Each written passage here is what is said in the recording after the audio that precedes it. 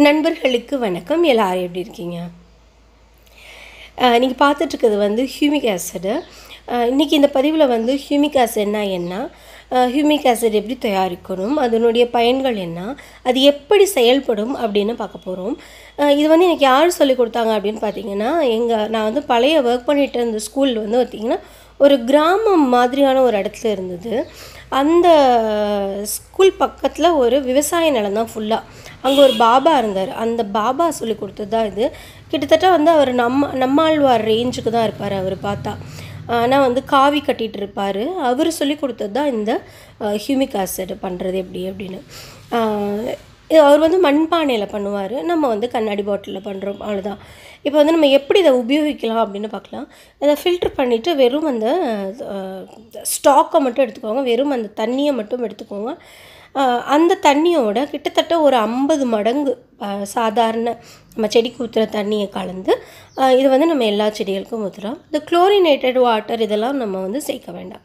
இந்த humic acid வந்து நம்ம செடிக்கு ஊற்றும் போது என்ன ஆகும் அப்படின்னு பார்த்தீங்கன்னா நல்லா காய்க்கிற செடிக்கும் பூக்கிற செடிக்கும் ஊற்றுங்க ஈவன் இலைகள் நல்லா வர செடிகள் இலைகள் இது கீரைகளுக்கு கூட நல்லா ஊற்றலாம் இது ஊற்றுறதுனால என்ன ஆகும் அப்படின்னு பார்த்தீங்கன்னா இலைகள் நல்லா ஃப்ரெஷ்ஷாக க்ரீன் லீவ்ஸாக வரும்.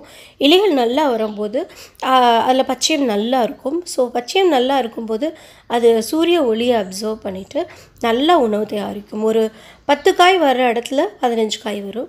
ஸோ வந்து நல்ல காய்கறி செடி இனிமேல் நம்ம வந்து காய்கறி செடிகள் போடுறோம் அப்படின்னா அதுக்கு வந்து இந்த ஹியூமிக் ஆசிட் வந்து ரொம்பவே ஹெல்ப் பண்ணும்.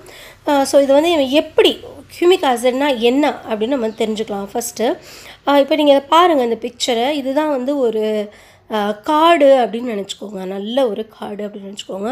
நம்ம காட்டில் வந்து பார்த்திங்கன்னா யாரும் போய் கூட்டி விட போகிறதில்ல மரத்துக்கு கீழே சுத்தம் பண்ணி வைக்க போகிறதில்ல கீழே உட்காந்து யாரும் நம்ம கதையடிக்க போகிறதில்ல ஸோ வந்து இந்த காட்டில் இருக்க ஒரு அடர்ந்த காடுகளுக்கு கீழே என்ன இருக்கும்னா தரையில் அந்த இலைகள் வந்து லேயர் லேயராக கொட்டியிருக்கும். அது உங்களுக்கே நல்லாவே தெரியும். இலைகள் வந்து லேயர் லேயராக விழுந்திருக்கும். புது இலை இருக்கும். ஃபஸ்ட்டு நம்ம நடந்து போகும்போது சரக் சர சரன் அப்படி சத்தம் கேட்கும். அதுக்கு கீழே இருக்க புது இலைகளாக இருக்கும் ஃபர்ஸ்ட் லேயர் ரெண்டாவது லேயர் வந்து பார்த்திங்கன்னா மக்கிக்கிட்டு இருக்கிற மக்கும் மக்கிக்கிட்டு இருக்கிற இலைகள் இருக்கும். இப்போ தான் நான் மக்கிக்கிட்டு இருக்கேன் அந்த மாதிரி இலைகள். அடுத்த லேயரில் மக்கிய இலைகள் இருக்கும். அதுக்கு அடுத்த லேயரில் வந்து பார்த்திங்கன்னா நல்ல மக்குன இலைகள் இருக்கும். இதுதான் இது எல்லாமே இந்த நாலு ஸ்டேஜஸும் சேர்ந்தது தான் ஹியூமஸ் இந்த ஹியூமஸில் எல்லா காடுகள்லேயும் இருக்கும் இல்லையா அது? இந்த ஹியூமஸில் மழை தண்ணி படும்போது என்ன ஆகும்னா இந்த மழை தண்ணி டைரெக்டாக கிரவுண்டுக்கு வந்துடாது இந்த ஒவ்வொரு லேயர்லேயும் உட்காந்து உட்காந்து ஒரு ரெண்டு மூணு நாள் ஆயிரும் கீழே வர்றதுக்கு. அப்படி கீழே வர்றப்ப அந்த அந்த எல்லாத்து வழியாகவும் வந்த தண்ணி இருக்கு இல்லையா? அதுதான் வந்து ஹியூமிக் ஆசிட் இப்போ மரத்தில் வந்து பார்த்திங்கன்னா வேர்கள் இருக்கும். அந்த வேர்களில் வந்து இந்த லாஸ்ட்டில் ஒரு குட்டி குட்டி வேராக இருக்கும். பெரிய வேர் அதுக்கப்புறம் சின்ன வேர் அதுக்கப்புறம் இன்னும் குட்டி குட்டியான வேர்கள் இருக்கும். அந்த குட்டி குட்டி வேர்களில் வந்து பார்த்திங்கன்னா நெகட்டிவ்லி சார்ஜ்ட் அயனோ இல்லை ஏதோ ஒன்று நெகட்டிவ்லி சார்ஜாக இருக்கும்.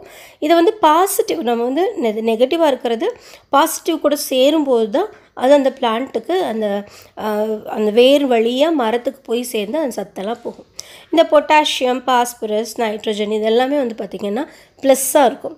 இந்த ஹியூமிக் ஆசிட் என்ன பண்ணும் அப்படின்னா இந்த ப்ளஸ்ஸாக இருக்கிற பொட்டாசியம் பாஸ்பரஸ்ஸு இந்த நைட்ரஜன் இது எல்லாத்தையும் இந்த மைனஸில் கொண்டு போய் சேர்த்து விடும்.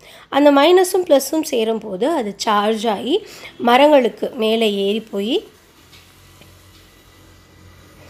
மேலே போய் மரங்களுக்கு நல்ல வேறு இலை காய் பூக்கள் எல்லாமே சூப்பராக வளரும். இதுதான் ஹியூமிக் ஆசிடோட அந்த பே அதான் இப்படி தான் நம்ம வந்து ஹியூமிக் ஆசிடை புரிஞ்சுக்கணும்.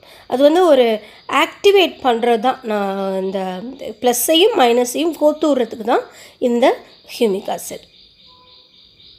ஸோ நம்ம பிளான்ட்ஸ்க்கு ஹியூமிக் ஆசிடுங்கிறது ரொம்ப ரொம்ப இம்பார்ட்டண்ட் இப்போல்லாம் நம்ம பேக்கெட்ஸில் கூட ஹியூமிக் ஆசிட் விற்கிறாங்க பட் வந்து அதில் வந்து ஹண்ட்ரட் பர்சன்ட் ஹியூமிக் ஆசிட் இருக்கா அப்படின்னு தெரியல.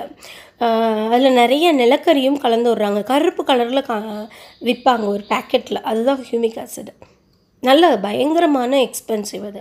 இப்போ நம்ம எப்படி பண்ணலாம் அப்படின்னு பார்க்கலாம். ஃபஸ்ட்டு வந்து ஒரு ப இந்த மாதிரி ஒரு கண்ணாடி பாட்டிலில் சாதம் ஒரு கப்பு சாதம் அப்படின்னா பத்து கப்பு தண்ணி விட்டுட்டு கொஞ்சமாக ஈஸ்ட் போட்டுட்டு பத்து நாள் வச்சுருங்க. வாழைப்பழத்தோல் சேர்க்காதீங்க அப்போ. ஃபஸ்ட்டு பத்து நாளைக்கு வெறும் அரிசி சாரி சாதம் பத்து மடங்கு தண்ணி. தேவைன்னா ஈஸ்ட்டு ஈஸ்ட் இல்லை அப்படின்னா நீங்கள் கொஞ்சமாக வெள்ளம் கொஞ்சமாக வெள்ளம் சேர்த்துக்கோங்க. அதை ஆக்டிவேட் பண்ணது தான்.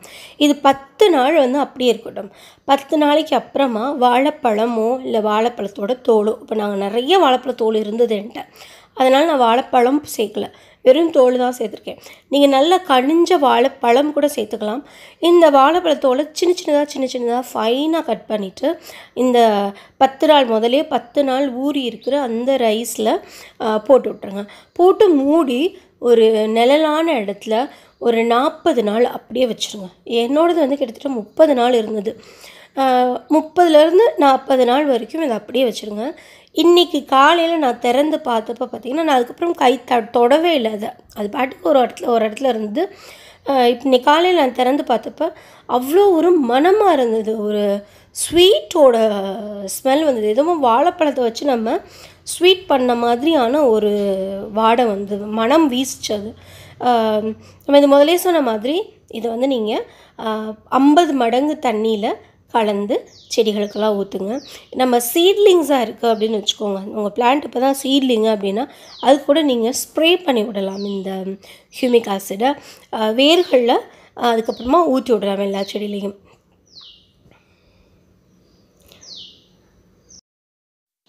உங்களுக்கு இந்த வீடியோ பயனுள்ளதாக இருந்திருக்கும் அப்படின்னு நான் நம்புகிறேன் உபயோகித்து பார்த்துட்டு எனக்கு கீழே கமெண்ட் செக்ஷனில் சொல்லுங்கள் ஸோ மற்றவங்களுக்கும் உபயோகமாக இருக்கும்.